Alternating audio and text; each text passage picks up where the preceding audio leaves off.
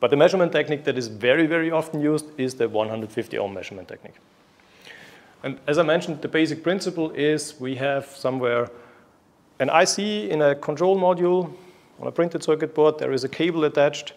The IC is operating, producing electromagnetic emission, switching activity, current is flowing, common mode current or whatever, in the cable, and we have radiation out of the cable loop area. So for example, out of this loop area. And then we are measuring in five meters distance. But drawback, when are changing the cable a little bit, we are changing also the impedance and the area, so the coupling is not very accurate. And to overcome this problem, they defined this very, very simple, very cool network, which just consists of two resistors, this one and this one, and a capacitor. These are two SMD resistors and one SMD capacitor, and these three components can be placed very, very close to the IC pin in a very reproducible way. And now it's your task to figure, figure out why this thing is called 150 ohm measurement technique.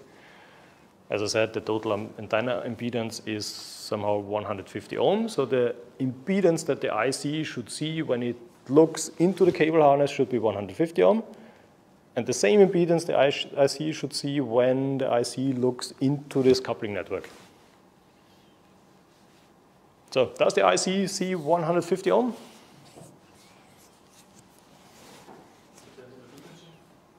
Uh, frequency range is defined 150 kilohertz to 1 gigahertz. Also, yes, also in this frequency range, it the IC should see somehow 150 ohm. Forget what I told you about the frequency dependence of the resistors. Let's suppose all the resistors have their values all over this frequency range, which is not the case in reality, but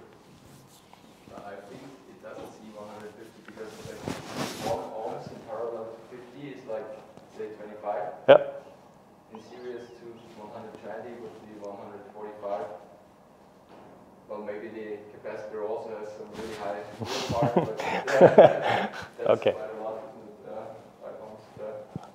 Okay, perfect. Yeah, this is exactly what I wanted to throw your mind a little bit in a certain direction. So we have 50 ohm input resistance, then 51 ohm. Well, we have to use standardized values, so we can only use.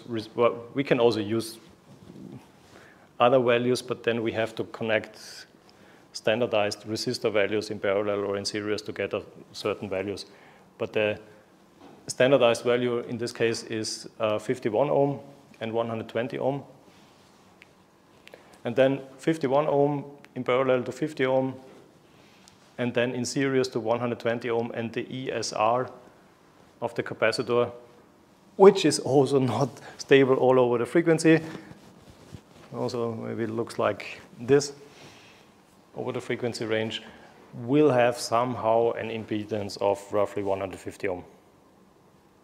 So maybe it's not exactly 150 ohm, but if every IC uh, manufacturer or IC customer is using exactly the same network, in the same way of the layout, with the same components, then it doesn't matter if it's exactly 150 ohm because they can compare the results pretty easy. And this is the big advantage of this measurement technique because it's very reproducible and very simple. And it also gives a wide dynamic range and a wide frequency range. Okay, frequency range, another, another question. Uh, at the beginning of the lecture, we talked about that one gigahertz is not the end so we have ICs currently which are already operating at one gigahertz, so it doesn't really make sense to stop measuring at one gigahertz. So question to the audience, can we increase the frequency range by this frequency technique, measurement technique, by this EMC characterization technique? And if yes, what would you do? The first question is, is this directly placed on the PCB? So is it yep. you, you wouldn't test PCB to play this network on? Yep, definitely. So later on, I will show you a picture.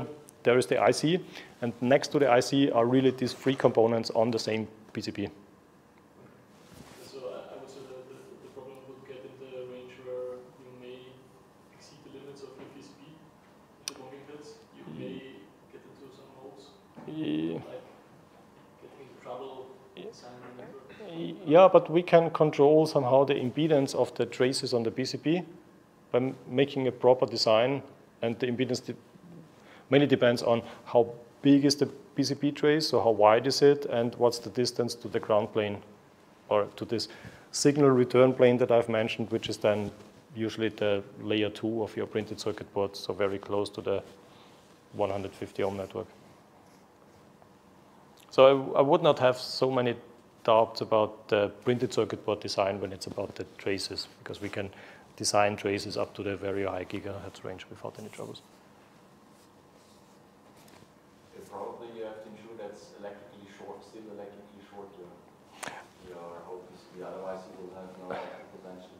Yeah, this is definitely true. So we have to be short in relation to the wavelengths of, your, of the signal that we would like to characterize. But as the components are usually very small SMD components and they can be placed very close to the IC pin, uh, the distance is one centimeter maybe. So there we are in the very high frequency range.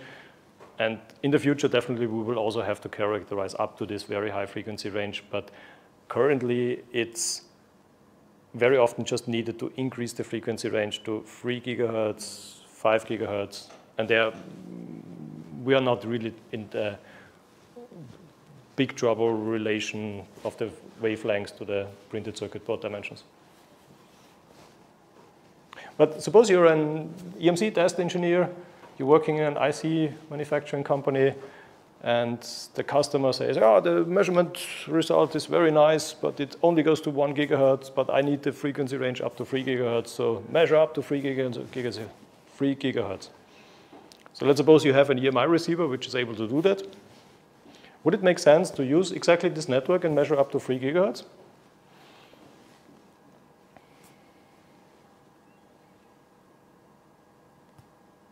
Also, yes, why not? Because I can set the stop frequency at my EMI receiver to 3 gigahertz and it will measure, absolutely no problem.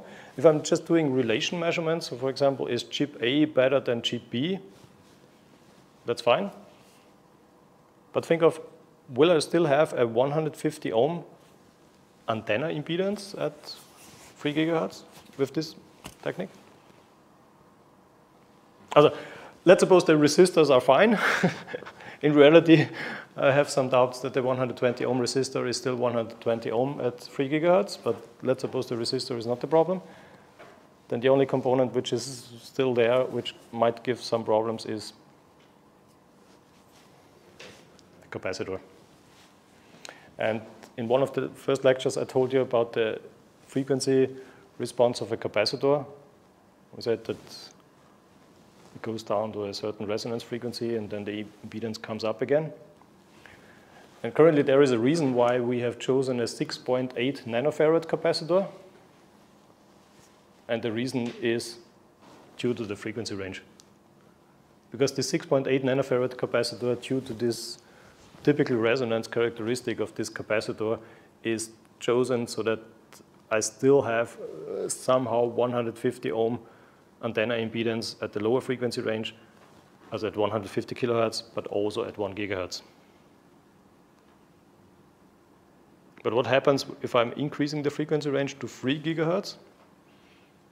The impedance of the capacitor is increasing, so it gives me then more impedance and then I'm running out of this 150 ohm because I'm increasing the impedance to 160, 170, or whatever. Okay, so what can be done in order to be able to measure up to 3 gigahertz without any troubles? And at 3 gigahertz, I still have a 150 ohm measurement technique. Use a better capacitor. Yeah, exactly. Use a better capacitor. But what kind of capacitor should I use?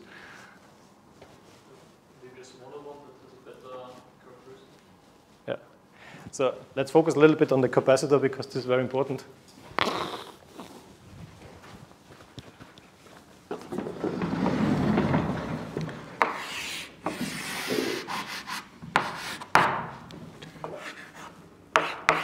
So if I have here the XC of my capacitor and this is the frequency range, then let's suppose this 6.8 nanofarad capacitor has a frequency characteristic that might look like this. So what would happen if I'm using a bigger capacitor, bigger from the value of the capacitor. 100 nanofarad instead of 6.8 nanofarad.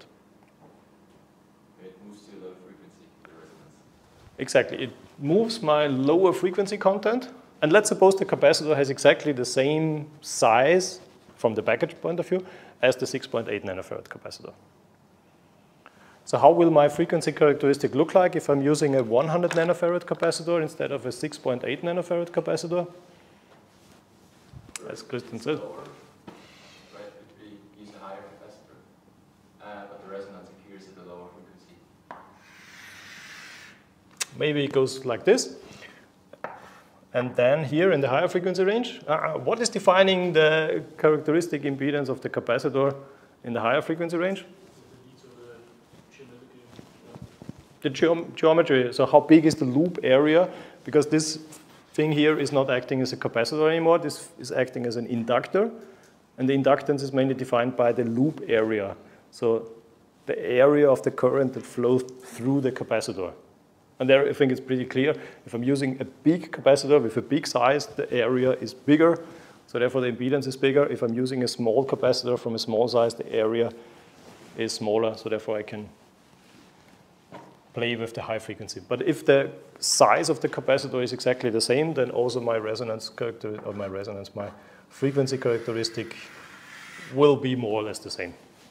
Okay, just by increasing the capacitance value will not give me any benefit at the high frequency range. And here we are talking about this frequency range because here we are, for example, at 3 gigahertz.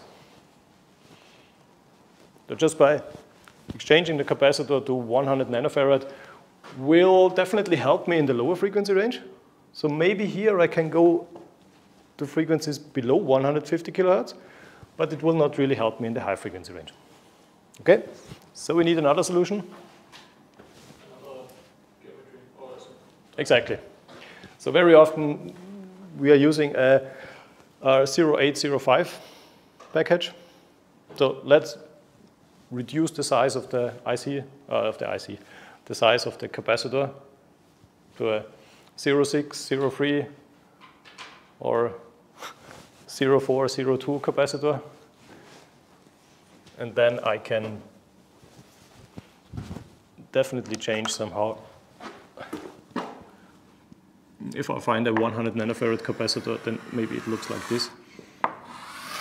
But yeah, this gives me some additional benefit in the high frequency range. Okay, so I can play a little bit with the value and the size of the capacitor.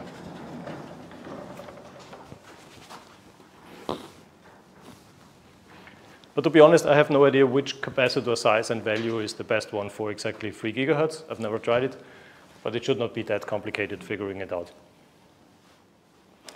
Okay, so what else is important? Ah, yeah, the capacitor. It's not just acting as a series element defining my 150 ohm. The big additional benefit of this capacitor is it also acts as a DC block. Why is this important? I think it's clear. If I want to measure the noise signal that I have at the battery supply pin, then I think it's not that good to connect the battery supply by a 120 ohm resistor directly to the input of the EMI receiver. Because there are some EMI receivers who do not want to have a DC signal. So therefore we need a DC block. And this capacitor here also acts as a DC block. So we can directly connect then this coupling network directly by a coaxial cable to the input of the EMI receiver. Okay, yeah, in the standard you can find then different configurations, how to place this component and depends on if you have um, all supplies combined to one power supply, so maybe two supply pins, but then connected to one battery, then you should connect the 150 ohm network directly here. If the supplies are separated, then use also separated coupling networks. I think it's clear. Um, what is this? Ah, yeah. You can also measure the common mode noise that is coupling out of several pins. If you're just connecting this coupling network to one pin, you're only measuring the differential mode noise, so the signal that comes out of the IC pin. But if you have two networks combined together, like here, you have to play a little bit with the values so that each IC pin still sees 150 ohm. But then you can also measure the common mode emission that comes out of the whole IC on two pins in the same direction. And then combine this over the capacitors, the resistors, to a voltage drop here at the 51 ohm resistor.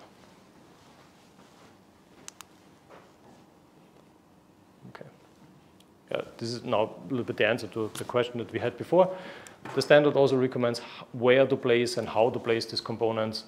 This is usually the SMA connector, where you're then connecting the coaxial cable to the EMI receiver. And here are the components. There you should have a 50 ohm microstrip line so that you have a 50 ohm system as close as possible to the IC. I think it's clear.